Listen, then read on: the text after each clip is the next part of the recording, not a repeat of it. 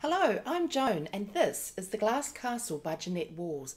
It's a terrific book about Jeannette and her three siblings who were the offsprings of extremely unconventional and eccentric parents.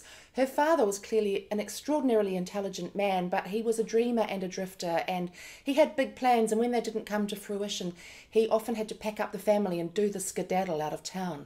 And her mother really didn't want to be bothered with raising kids. She preferred to be creative, and she called herself an excitement addict. So these four kids were pretty pretty much left to bring up themselves, and boy, what a bringing up that was. It's an extraordinary story. It opens with an amazing scene when Jeannette is driving up Park Avenue New York in a town car and she sees her mother rifling through a dumpster at the side of the street and the difference between their lives and where they've come from and where she's got to is just amazing. It's a really good book.